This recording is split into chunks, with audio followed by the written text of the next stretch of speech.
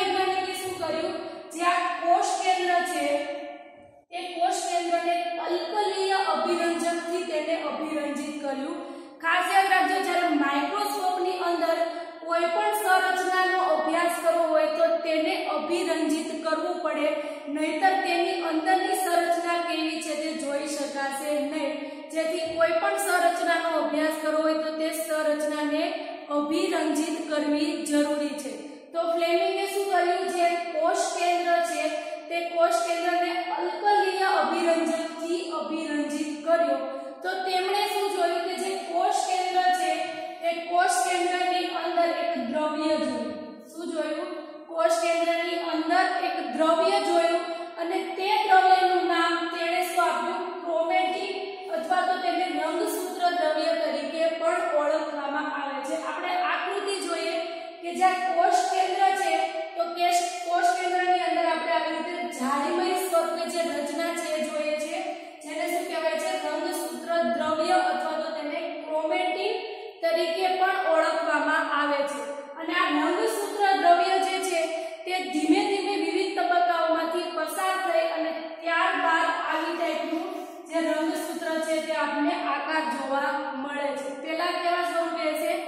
બંધ સૂત્ર દ્રવ્ય સ્વરૂપે છે, ત્યારબાદ વિવિધ તબક્કાઓમાંથી પસાર થઈને તેમાંથી રંગ સૂત્રનું નિર્માણ થાય છે.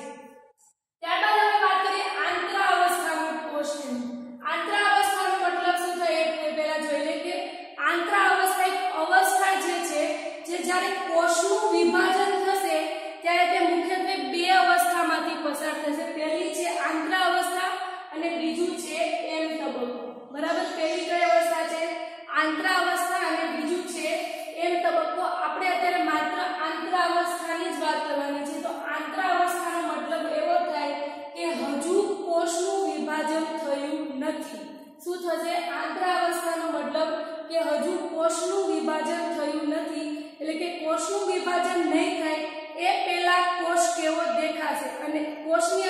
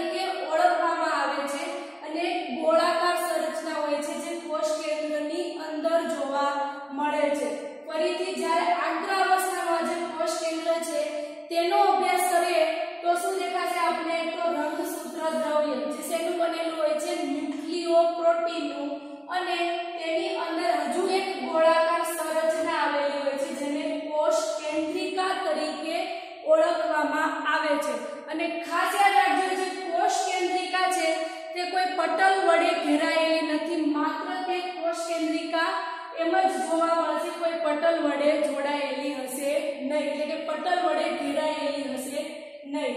ત્યારબાદ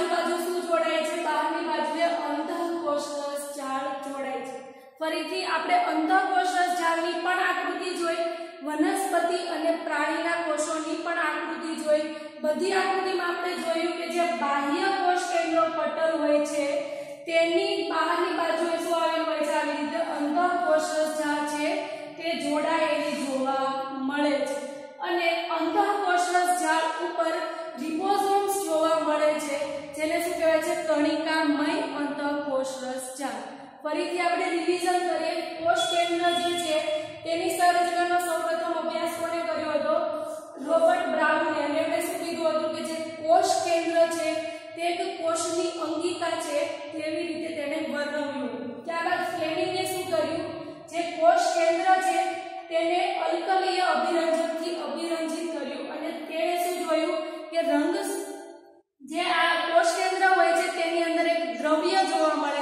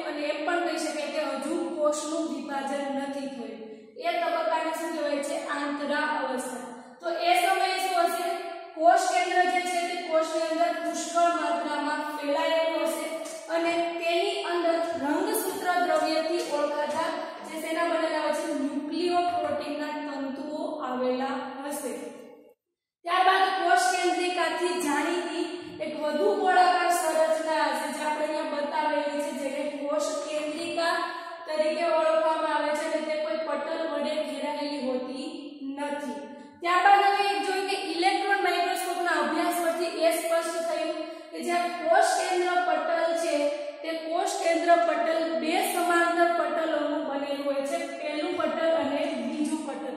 બંને પટલો વચ્ચે થોડો એવો અવકાશ એટલે કે જગ્યા જોવા મળે છે, જેને પરિકોષ કેન્દ્રીય અવકાશ તરીકે ઓળખવામાં આવે છે. અને બંને વચ્ચેનો અવકાશ એટલો હોય છે, દસ નેનોમીટરથી પંચાવન નેનોમીટર. ત્યારબાદ પટલનું કાર્ય જે તો કાર્ય અવરોધનનું કરે છે. શું કરશે જે કોષ રસના દ્રવ્યો છે તેને કોષ કેન્દ્રમાં પ્રવેશ નહીં થવા દે અને કોષ કેન્દ્રના જે દ્રવ્યો છે તેને કોષ રસમાં નહીં જવા દે. એટલે શું કરશે? અવરોધ પેદા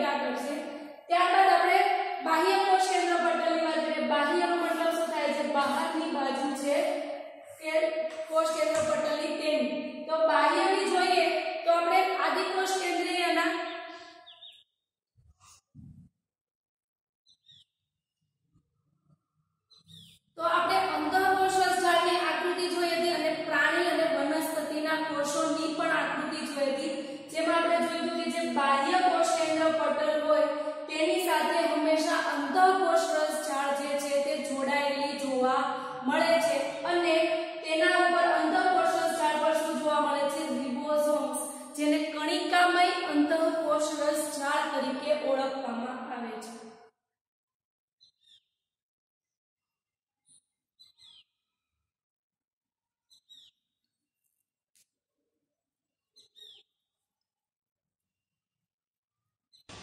તો આપણે હવે વાત કરીએ કોષ કેન્દ્ર પટલ છિદ્રની. કોષ કેન્દ્ર પટલનું કાર્ય શું હતું? કે જે કોષ રસમાંથી કોષ કેન્દ્રમાં અને કોષ કેન્દ્રમાંથી કોષ રસમાં જે દ્રવ્યો જે હોય છે, તેનું અવરોધન તે પસાર થઈ શકતા નથી. હવે કોષ કેન્દ્ર પટલ છિદ્ર હોય છે. આપણે જે અહીંયા જગ્યા જોઈએ છે, કોષ કેન્દ્ર પટલમાં આવી રીતે વચ્ચેની જે જગ્યા છે, એ જગ્યાને શું કહેવાય છે? છિદ્ર તરીકે ઓળખવામાં આવે છે. અને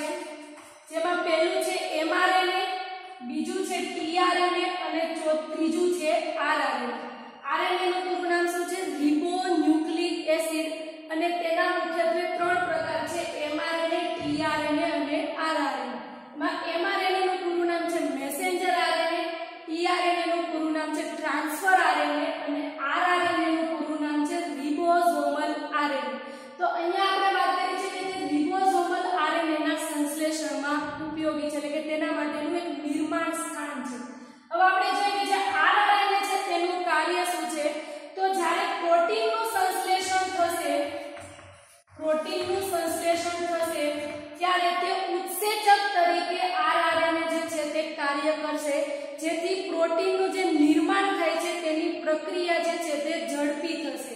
ફરીથી આરઆરએનએ જે છે શું કાર્ય કરે છે? પ્રોટીનના સંશ્લેષણ દરમિયાન ઉત્સેચક તરીકે કાર્ય કરે છે, જેથી પ્રક્રિયા ઝડપી થશે અને પ્રોટીનનું નિર્માણ થશે. હવે અમુક કોષો એવા હોય છે કે જે પ્રોટીનનું નિર્માણ એટલે કે સંશ્લેષણ જે છે તે વધુ કરતા હોય છે. તો તેવા કોષોની અંદર આ જે કોષ કેન્દ્રિકા છે એ મોટી હોય છે યા તો તેની સંખ્યા વધારે હોય છે. શું હશે? જે કોષોની, જે કોષ હોય છે તે પ્રોટીનનું સંશ્લેષણ વધુ કરતા હોય, તેવા કોષોની અંદર આ કોષ કેન્દ્રિકા હોય છે, તેની સાઈઝ મોટી હોય છે, યા તો તેની સંખ્યા વધુ જોવા મળે છે. કારણ કે એ કોષ કેન્દ્ર પર કોષ કેન્દ્રિકા શું કરશે?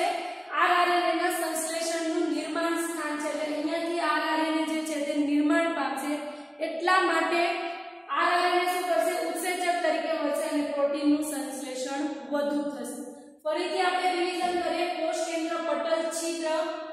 જે આપણે આકૃતિમાં બતાવેલો છે, પટલની આવી રીતે વચ્ચે છિદ્ર જોવા મળે છે. એ છિદ્ર દ્વારા શું થશે? કોષ કેન્દ્રમાંથી કોષ અને કોષ રસમાંથી કોષ કેન્દ્રના જે દ્રવ્યો છે, તે અવર જવર કરી શકશે. કયા કયા દ્રવ્યો? આરએનએ અને પ્રોટીન. ત્યારબાદ એક કોષમાં આપણે જોયું કે એક કોષની અંદર એક જ કોષ કેન્દ્ર જોવા મળે છે. પરંતુ આ સંખ્યામાં ઘણી વખત ફેરફાર જોવા મળશે જેમ કે યકૃતના કોષો છે, ફૂગના કોષો છે અને સ્નાયુના કોષો છે. આ બધા કોષોની અંદર કોષ કેન્દ્રની સંખ્યા એકથી વધુ જોવા મળે છે. જ્યારે અમુક કોષો એવા હોય છે કે તેમાં કોષ કેન્દ્રનો જ અભાવ હોય છે. જેમ કે સસ્તનના રક્તકણના કોષો. સસ્તનનો મતલબ શું થાય છે? સ્તનધારી પ્રાણી હોય છે. તેનો સમાવેશ સસ્તન વર્ગમાં થાય છે અને રક્તકણનું બીજું પાસે ઇલિઝોસાઇટ્સ એટલે કે રક્તકણો